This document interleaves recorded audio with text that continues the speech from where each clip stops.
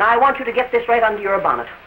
I ain't going to never leave this joint, and I ain't never going to live on charity. Oh, man. I didn't mean it that way. You misunderstood me. Well, understand this, then. Now, you go live your life, and Oh, please let me live mine. Think so, Min? Gee, that must be the whistle from the yacht, huh? Well, that's uh, a fishing boat. Oh, no, it ain't, Min. I seen it this morning from the porch. Alex pointed it out to me.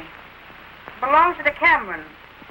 I hear that that Cameron guy, that young fella, is going to get married this morning to a girl by the name of Smith. Oh? Ever hear of her? Sure. There's a million Smiths around here. Mm-hmm. They say that she used to hang around the waterfront. I never seen her. That's a lie, Min, and you know it. That's my kid. And I'm going to point my finger right straight at her and tell her who she really is and what I think of her. Mm-hmm. Well, you ain't going to leave this room. Now, who's going to stop me? I'm going to stop you. You ain't got the guts to do it.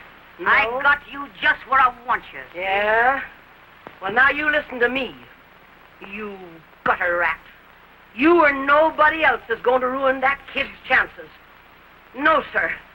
I loved her with all the clumsy love that I had. And I'm going to tell you something. She's a swell kid. Ah. Clean, loyal, even to an old sea cow like me.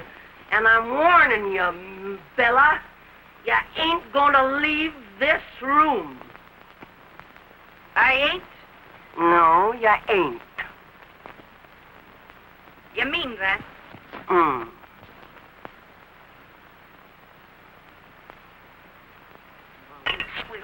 Ah!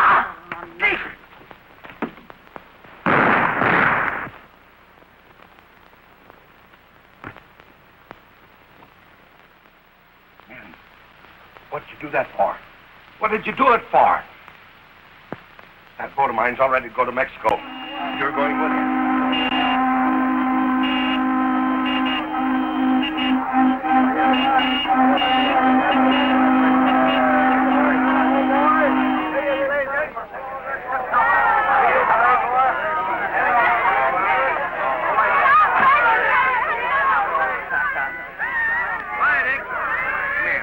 On, let's, let's go. Will you, man?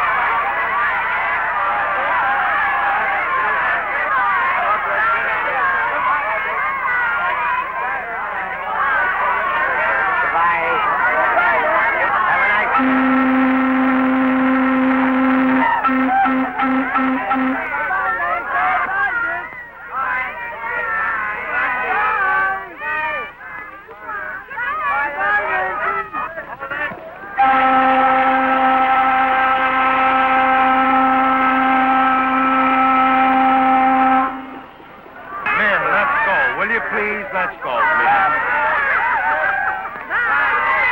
Come on. What's the matter? She ain't done nothing. She knows. Come on. Come on.